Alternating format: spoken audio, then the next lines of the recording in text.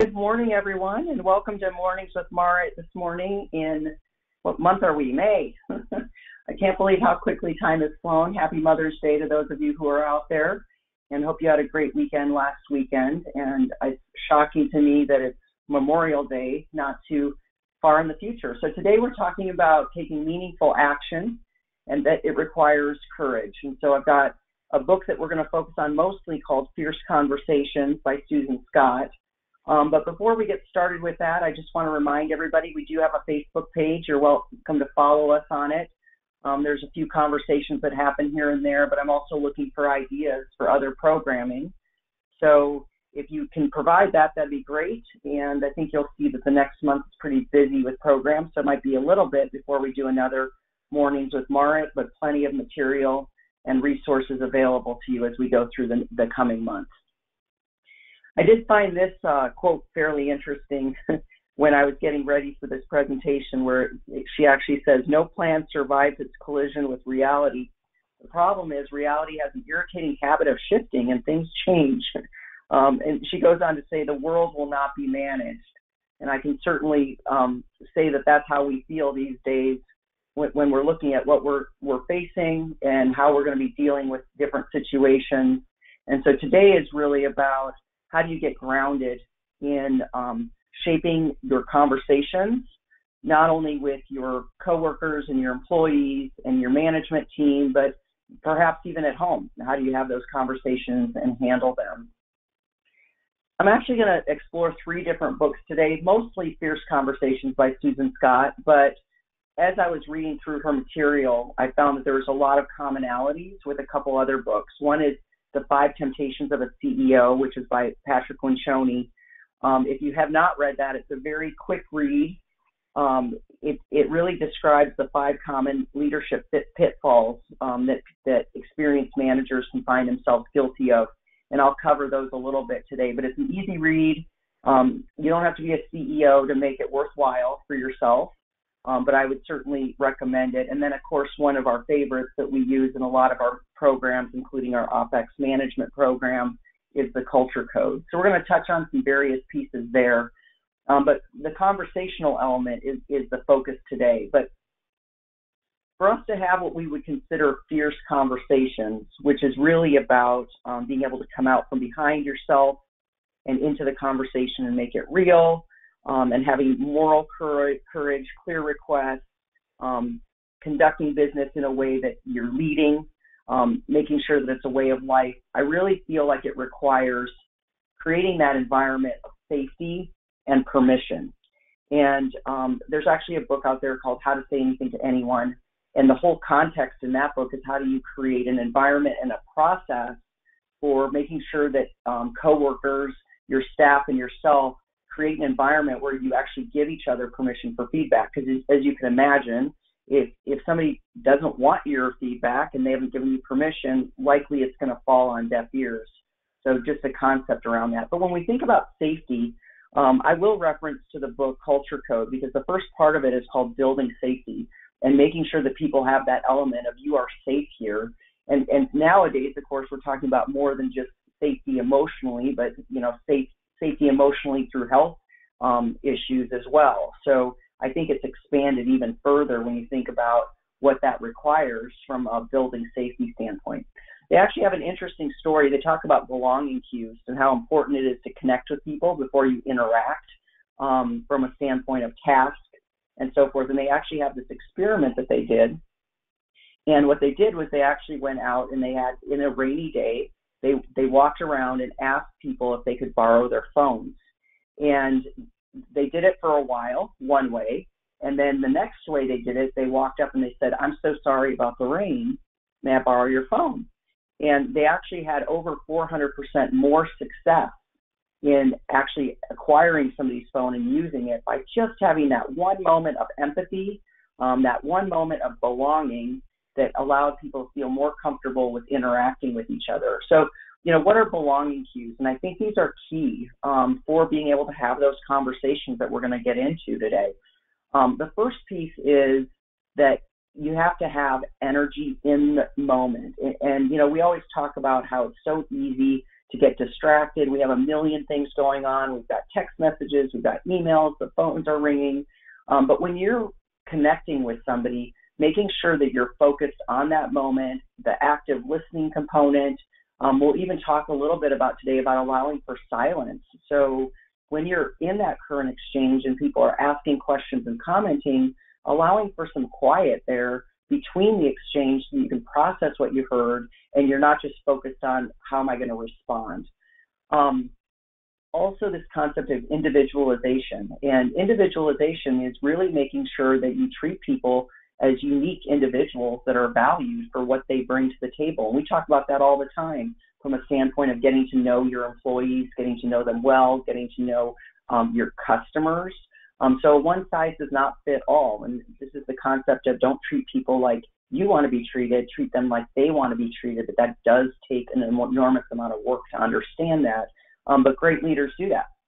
Um, and, and really, I think this piece in the culture code is one that really I've never thought about before. I've always thought about, you know, be in the moment, you know, be present, treat people individually, but I've never thought about this piece about making sure that you create a future orientation and signal that the relationship will continue. By the way, I did put in a handout um, this presentation, so if you want to download it, you're welcome to, and I will also send it out afterwards because I'm going to go through a lot of material today, and I know you're probably going to get tired writing. So um, we'll make sure that you have access to all of the documents. But this future orientation piece is so important, and, and especially if I'm having a difficult conversation with an employee, I, I, and I really want the outcome that they're part of the team, I begin the conversation with connecting to the future next year. When we're in this situation and, and we've accomplished all these goals, I'm so excited that we're going to celebrate together. Um, and then deal with the issue at hand as opposed to dealing with the issue and people get disconnected and wonder, am I safe here or not? um, it really does um, create that scenario of safety. I, in this comment, I always tend to talk about like my son. You know, he never has to worry about whether or not he's around next year, right? So he knows that I'm always going to love him, and which means he has an environment of true safety. We're in this together. We're committed to the long haul, and, and that's what this relationship is going to be. So, in the cultures, so one of the things about these conversations we're going to talk about today is if you don't have this type of culture already, you're probably going to have to spend some time on that. So people feel like, okay, we are close, we are safe, and we do share a future. Um, because otherwise, the conversations may fall, like I said, on um, deaf ears, or it may look disingenuous, which certainly isn't going to be helpful. So safety does allow for people to be honest um, and challenge ideas and really have those those conversations. So when we talk about fierce conversations, um, what is it, right? So I just kind of grabbed some comments around here, and, and I do like this first one, which is look, each conversation we have, whether it's personally or professionally, will either enhance that relationship, flatline it, or take it down. Um, and so it's amazing how when you start to think about conversation really being the relationship, um, you maybe take a pause back and start to realize how important conversation is. Um, when she talks about a fierce conversation is one in which we come out from behind ourselves um, and make things real.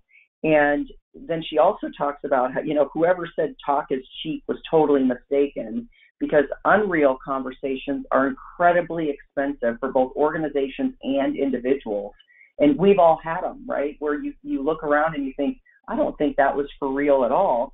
Um, and we, we could kind of talk about the fact that, hey, the real conversations are usually those water cooler conversations as opposed to in the boardroom or in the management room. So what you want to do is make sure there's no difference between the two. Um, what's happening in the parking lot now that we're not ever together. There's no water cooler, so who knows what the reality is. Um, but but really, fierce conversations she talks about is about are about moral courage, clear requests, taking action, um, fierce is an attitude, it's a way of conducting business, a way of leading, and a way of life is the concept. And, and I'm going to cover pieces of this, but obviously there's so much more in her, her book. So, you know, hopefully this will be something that inspires folks to um, go out there and maybe learn a little bit more. So when we think about um, fierce conversations, she talks about interrogate reality, and there are three stages to interrogating reality. first identify the issue on the table and your proposed solution, okay? Check to see that everyone understands. And I think this is a really key part because if we don't understand what is happening from a perspective of, if we don't agree that, that we understand what the issue is, um, we have, may have a problem trying to get to that solution. And then finally, check for agreement. Um, be sure to get everyone's input and resist the temptation to defend your idea. I feel like my slide might have frozen, so bear with me while I just click back and forth.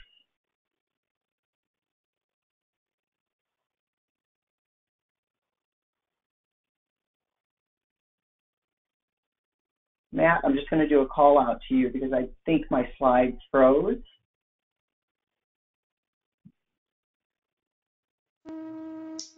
You're on the fierce con. We see the fierce conversation slide. Yeah, it should say interrogate reality, so I think I might have a problem there. So if you're looking at my slides on the handout, I'm on page 12 right now, um, where interrogate reality, provoke learning. Um, we talk about that. Um, so when you're doing a fierce conversation, at the end of the day, we want to interrogate reality, provoke learning, tackle tough challenges, and enrich the relationship overall. All right, it says my network is being established. Good, I think we've moved now to the right slide. Great. Well, that's always fun in the middle of the world. So what do we call it? Quarantine grace. We'll forgive each other when it's not perfect. All right. So when we talk about fierce conversations, one of the things I'd like to challenge you to do today is list the fierce conversations you need to have with others. Um, so what I'd like you to do is maybe jot down the name of a person or two that you know you need to have conversations with and maybe start to kind of jot what is the topic about, one or two topics that you have to have. And I know this is a lot of material, but like I said, you can have access to the handout and I'll send it out. But as you're getting prepared for conversations, these are the things you should be drilling down from a perspective of what you should be thinking about. So really identify your most pressing issue, you know, what's going on, how long, how bad is it really? I'm going to talk later about data and making sure that, you know, it doesn't, it isn't just a perception of there's a problem, but there's actual data to prove it. Um, really think about the current, the, the impact it has and who is it impacting? Is it impacting just you? Is it impacting others? Um, what's being produced out of it? Um, what are the opportunity costs associated with that type of behavior or the issue that you're going to deal with? Um, also cl- be clear about determining what are my the future implications of continued activity that, that you may not be find acceptable. Um, and this is a big one, and I find this in tons of materials, whether it's critical conversations or radical candor or any of those books. This is where it really is important that before you go into a conversation with somebody, you examine how you contributed to the situation. Um, we have a, an assessment. If anybody's interested, shoot me a, an email um, later. It's called the Thomas Kilmann Conflict um, Assessment uh, um, Test, and it basically helps you walk through and un- understand, you know, how do you deal with conflict? Are you somebody who is a competitor, so you'll get, get right at it and attack it, or are you more of an avoider, or do you accommodate, or do you collaborate, or do you compromise? Um, sometimes the way we handle situations, if we've been um, allowing it to happen, we may have contributed to the issue. And so when you begin conversations, you might have to own up to that. Look, you know, I didn't realize this was getting so far out of hand. I should have dealt with it earlier and addressed it with you. That's on me. But now we're in this situation, so let's talk about it. But own your your situation. I, I think there's a, there's a comment in here that talks about um, what you tolerate is is what gets acceptable, right? So then we also have I be clear about what the ideal outcome is. So what are you trying to accomplish at the end of the day? What do we what does success look like?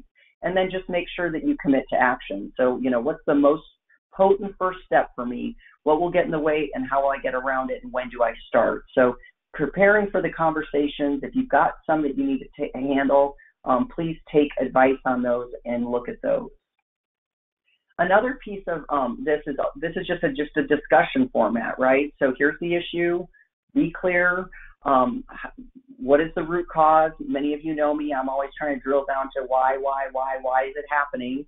Um, and not look at the symptom, but try and get right down to the real issue. And it's significant because, so you're talking about what's at stake. Um, my ideal outcome is, and this is where we talk about trying to be really clear about specificity and what is it that you actually want. And then from a standpoint of what are the relevant background data points. Um, I did this this book, um, How to Say Anything to Anybody. One of the rules they have, which I think is absolutely spot on, is you don't have the right to talk to somebody about a problem if it hasn't happened in the last week you really have to address it right in the moment. You may need to sleep on it a little bit, but if things have been happening and then you let it go and then now it's a month later and you want to address it, it basically says you really don't have the right. You either have to wait for it to occur again and then deal with it, or it may never occur again, so then you don't deal with it. So I think it's important that you think through that. You know, what have I done up to this point to contribute and, and then ask the help I want from the group is, and, and put that on the table um, from a perspective of asking for feedback. All right, so some of you are going to be um, guilty of this. I know I'm sure guilty of some of these myself, but I love this list of common mistakes with one-on-ones. Um, one is you do most of the talking. um, we all know that whether you're a salesperson or a manager or anybody, the less talking you do and the more the client or the employee does, it's probably a better conversation. Um, also, taking the problem away from someone. So somebody will come to you and you say, "Oh, I'll deal with that." We really try to make sure that we end up in an environment where you put people in the room and they work it out themselves, as opposed to solving it for them. Um, this one, some of you might not love. Um, but we want to ask people how they feel about situations, right? Um, and asking, well, how does that make you feel? I know it sounds goofy, but it actually is important and it's cathartic. Um, we also sometimes deliver unclear messages. I, have heard people in culture code, they talk about be 10 times more clear than you thought you needed to be because people have their own filters and they go do their own thing. Here's a big one don't cancel the meeting. Um, I know I am guilty of that at times where things just get busy and then cancel it, and it's really a big no no um, or allowing interruptions, or not planning enough time, um, or just assuming that it was effective at the end of the day. So those are some good common mistakes. You might be able to check some of those off for yourselves and be aware of that. Um, here's another list of common errors in confronting behaviors that you might find helpful. Um, don't begin by asking how it's going. So, you, so people kind of like to sly dog into it because it's a little uncomfortable to deal with it. Um, or even worse, they praise people as they lead in. Hey, I really want to thank you for all the stuff you've been doing this last week and handling this scenario. And then some, somehow they slide in some coaching um, and corrective action. Um, we talk about sandwich feedback, which people are brilliant at. Sometimes they lead with something positive, try to slide in the negative feedback, and then thank them for their great work at the end. And what you've done either is confuse the person because they're they don't know what you're really talking about, or they only hear the good stuff or they only hear the bad. So just be very clear, cut right into what it is that you're dealing with. Um, we sometimes soften the message to avoid hurting pe- people's feelings, and I like this comment: replace pillows with clear requests. Um, and people, frankly, will respect you for it. I actually worked for somebody years and years ago and he did a 360 review. So all the employees turned in evaluations on him, and he was he let everybody get away with everything, and he thought he was being a nice guy, and they respected him. And his reviews were brutal because people knew they could run over him, and he, he wouldn't address the situation. So people actually appreciate it um, when you tackle situations. Um, you know, relationships work when there's both appreciation and confrontation in a healthy manner. Um, another uh, common errors, we assume we know what the person will will be saying, so then we don't really hear them. And so, really pausing, parking your own perceptions of what's going to happen, and allowing it for, for it to happen is, is important. And, and this one's also people get nervous, and so they blast with a machine gun talk, um, and then they they go straight to the issue, say it, and then you know they invite their partner to talk, but there's not really a conversation. So you really want to be pretty clear about it. I like to open up with tell me what you think is going on and let them talk as opposed to putting it all on the table, um, and but still get through the guidance of it. In the book, um, Five Temptations of a CEO, they talk about a few things here, which I thought I'd highlight. That some temptations of CEOs or managers and so forth is, you know, there can be a, um, you know, it's natural to want to be liked by your peers. Um, and and most CEOs become friendly with their direct reports. Um, so there's no surprise when it comes to telling people they're not meeting expectations. When you get to that point, you balk because you've actually become more of a um, support group um, with your direct reports as opposed to people that you're holding accountable. So that's a key piece for you know great leaders really care about um, long-term respect, not affection, you know, don't view your direct reports as a support group, but as key employees who must deliver on their commitments of the companies to produce predictable results. Um, frankly, if the company doesn't meet their results, you as the leader are not doing them any favors by by sliding that. So we want people to be held accountable. Also, sometimes we overthink things, and so we don't make decisions because we're we're hoping that we got all the analytics correct. So there is some intuition that we've got to go with and then sometimes what happens is we don't deal with issues because we want there to be harmony on the team. And I know quite a few people that I've talked to that said, yeah, it's so uncomfortable when my team gets, you know, debates issues. And the reality is that should be healthy and they should be in an environment where you're encouraging people to challenge your own ideas um, because that's healthy for the environment as well. Uh, I, that's something that's always a good reminder for folks clearly, if, if we can be vulnerable, people will then be more comfortable having these open, honest conversations. Here was just a comment in the book that I thought was important to maybe highlight is, you know, what are you pretending not to know? Uh, it's kind of like the I see no evil, hear no evil, speak no evil. Um, you know, I think that when people start to pretend they can't see stuff, um, it will come back and and backsplash them. And I, I've talked to you know a lot of agencies right now that you know haven't dealt with performance issues with their employees prior to COVID-19, and now they're working from home and they're having even more behavioral issues. And they're thinking, you know, I knew that, and I just pretended it wasn't happening. And as I always have talked about, is that you know, at the end of the day, your compassion for your employees should be for your higher performers and make sure that they have the best team around them. And just a reminder, as a leader, you get what you tolerate. So if you're tolerating certain behavior that because you've just ignored it or you didn't want to deal with it and you didn't think it was worthwhile, if you allow it, um, you've now tolerated, which means you've now rewarded it as behavior that's acceptable for the organization. So Susan talks about, you know, a mineral rights conversation, digging in to find, you know, the gems, right? And so the outline of that conversation, and it, it lines up with what we talked about a few slides back, is, you know, what's the most important thing for us to talk about? You know, what's going on relative to this issue? How's it impacting you? How are you affected? What are the implications if nothing happens? Um, how have you contributed? What's the ideal outcome? And you know, what's the most potent step you can take? So this is a great way when you're working with your employees, you want to deal with something, giving them this outline. Um, I know a lot of us will say at times, you know, it gets old when people just come in and complain to me.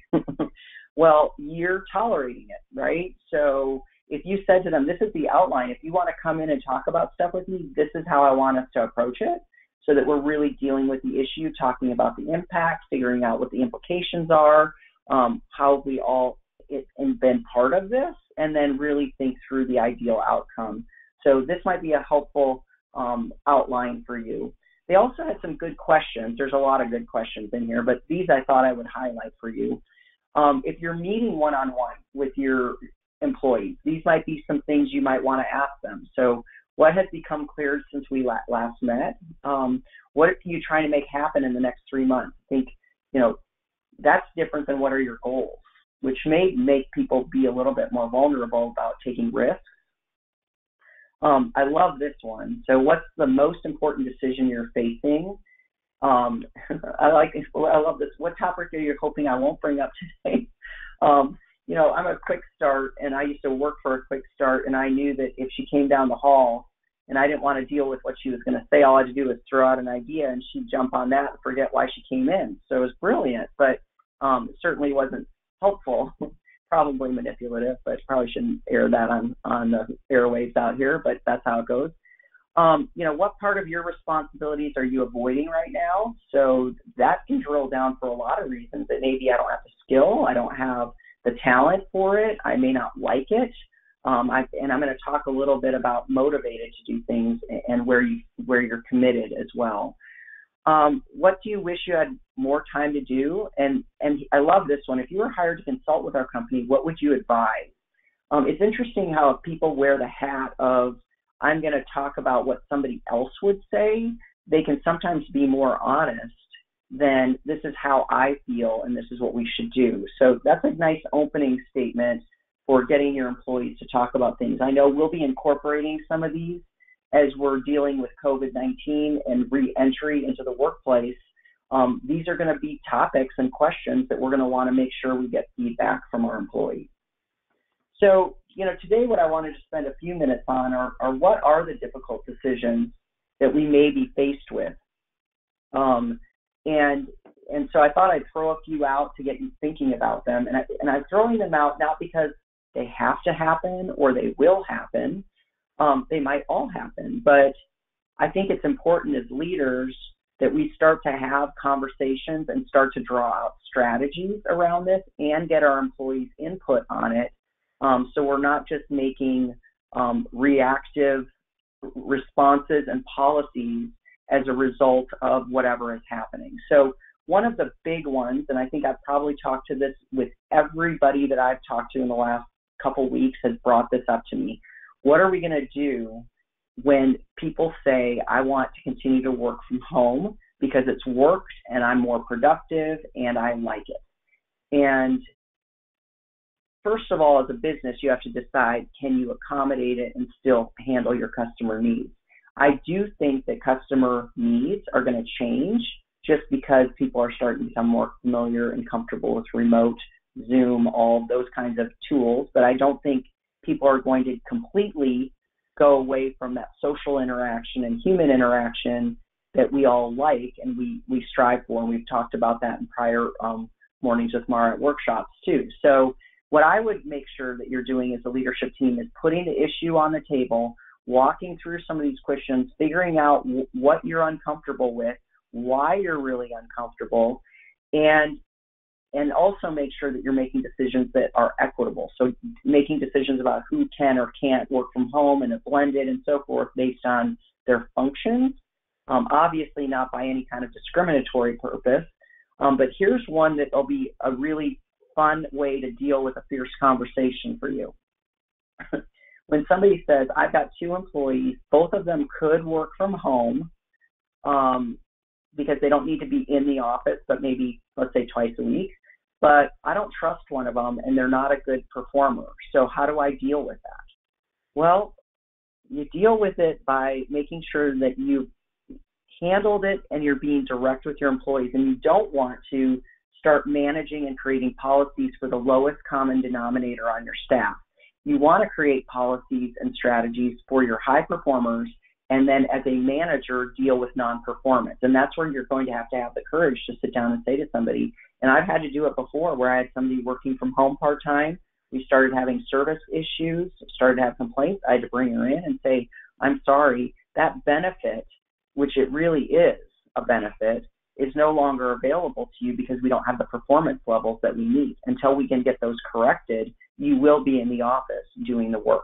As you can imagine, it didn't last very long. But um, it's really important that you're you have the courage to be direct with your employees about what's acceptable and what's not.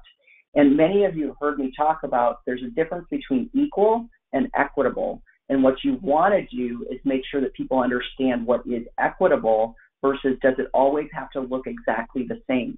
Um, and people have individual needs. Um, they're going to have medical needs that are different. They're going to have kids' needs that are different. What you don't want to do is end up in a situation where you say, well, all my single employees without kids have to come back to work, but all the ones with with families, they get the accommodation. So you really want to balance what you're trying to accomplish. Um, and if you know me at all, I will always err on the side of precaution as long as performance is working. So if I have a performance issue, I'll deal with that. Um, I actually have know somebody really well who said we've had to bring somebody back to work here. They're the only one really in the office because they were so disrupted at home and couldn't self-manage. And so we've just had to make that accommodation in order to make sure that he still has a job at the end of the day. Another piece that we we will be talking about too is clearly there could be a potential for shrinking business. You all have clients that are being affected by um, COVID-19, whether they're closing, whether their business models have changed, whether they have less income, and obviously that's going to translate. And we think it'll be six to nine months where we really start to see the impact with insurance agencies. What does that look like, and what is your plan for shrinking the business as far as personnel or downsizing? I talked to somebody the other day who said, you know, now that we've done this, I don't think we need a full staff here all the time. I think we can do more shared workspaces. Um, but now I don't need all this space that we've created. We're really going to revamp the office so it's made set up for appointments for clients, not offices, and I don't need as much room as I used to. So these are things that I think now starting to think through what are the scenarios that could happen what's our strategy for that? Because if you have a long-term vision of what the ideal situation is whether it's culture and or performance and or productivity or quality then as you end up getting pinched and you end up in those difficult situations, your every decision you make gets you closer to the ideal strategy that you have, as opposed to starting to make either emotional decisions or ones that aren't tied to the greater context in which where you end up, want to end up. Um, we also know that we have to be careful about health precautions. And one thing that we were talking about as a group this morning is being clear about which governing bodies you're listening to and which governing bodies are your employees listening to. Um, and if somebody's nervous, they're probably listening to the most conservative one. Um, and if, if an employee feels like you are um, going against a policy that's out there and, and they believe that's the one that should be followed, they will hold you accountable to it. Um, I know Austin's an interesting situation because we have the state, county, and city all have different rules right now for stay at home. Well, which one are we following? I tend to follow the most conservative because that's probably the safest, but we're also performing extremely well without having being in the office, and a couple people are. But if we weren't, then I might have to take a different um, set of set of precautions and or plans for my staff. So those are the, so those are some things. I guess the big message here is don't stick your head in the sand. Um, we know we're going to have to deal with these things. Why not get out ahead of it now um, and be thinking about where it is that you want to go?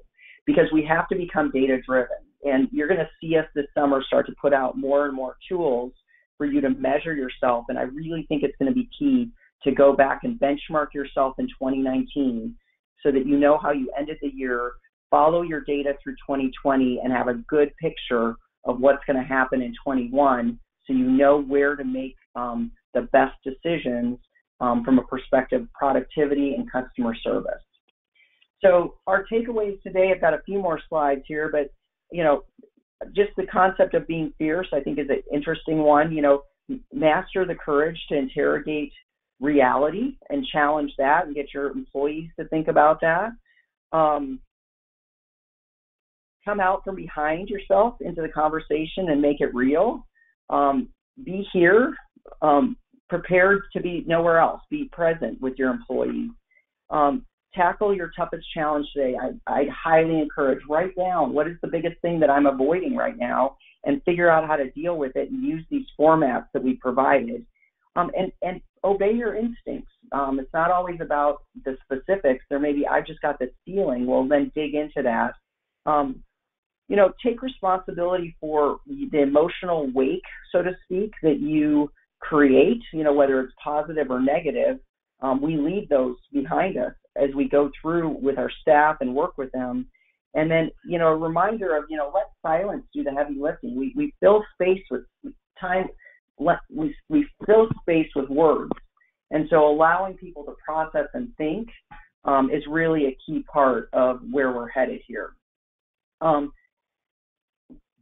we said this earlier. So, you know, one conversation at a time, you're either building, destroying, or flatlining your relationship. So you walk away today and you just start to think, wow, every conversation I have actually has to have purpose. Um, would you choose different words the next go round and what kind of impact can you have? We covered this before, but I'm going to do it really quick because I think it, it begs a lot to say when you have a challenge that you're going to tackle or you're worried about something um, you want to make sure that you are at least at a level three in order to actually take action. So be honest with yourself. You know, um, are do you just value it? You know, are you do you just express a wish to get it done, or do you actually, you know, kind of espouse for it, or you're expressing an attitude, or do you actually express conviction? Are you resolute about it and unambivalent? You have to be at that level in order for whatever piece you have actually will move you forward. Um, you might actually be passionate about it and be genuine and, and affirmative about it, or you could even have compassion about it, which is it's for the greater good. We have to do it, and it's an altruistic perspective. So whenever I take any goal or challenge or something I'm going to take, I always line myself up and be honest with myself about where is my emotional status from a motivation of tackling the issue, and then what's my skill set.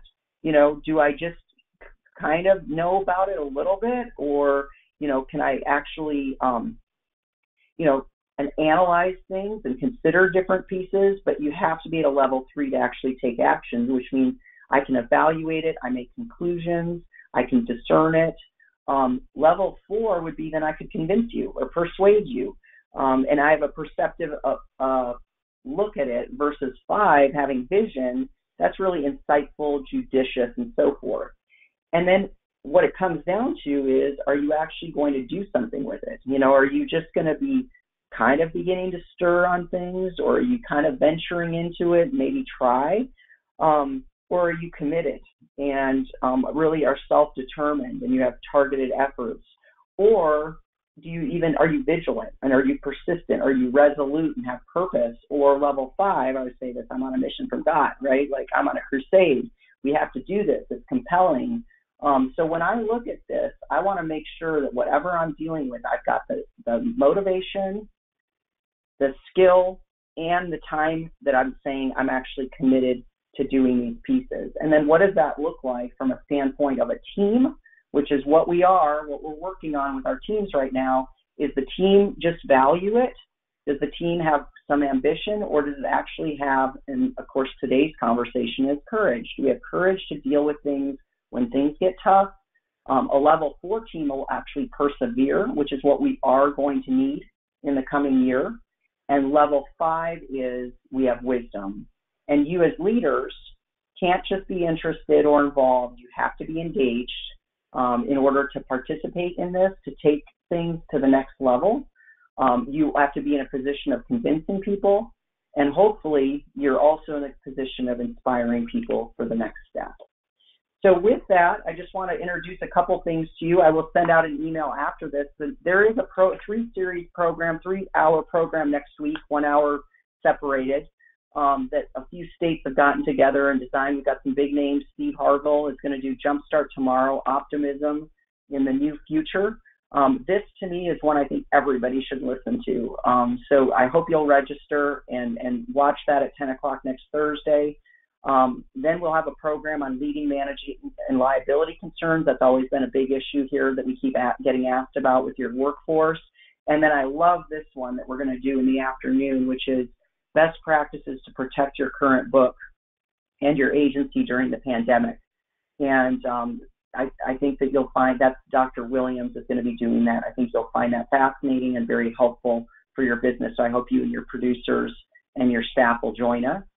And then that in June, we're going to just jump into InsureCon. We actually have three days that are series Thursdays in June that we're going to be providing programming. We'll make sure that you know what that is. We've got keynotes coming in. Steve McKee, We've got a whole bunch of Steve. Steve McKee, who's going to talk about disruption, um, growth in a time of disruption. We're going to have Steve Anderson talking about how to grow like Amazon. We're going to be talking about um, trends as it relates to COVID-19, whether it's work comp or E&O, and then we're going to be talking about technology whether it's cyber issues you need to be thinking about, um, and also from a perspective of uh, you know different tools and resources to work from home.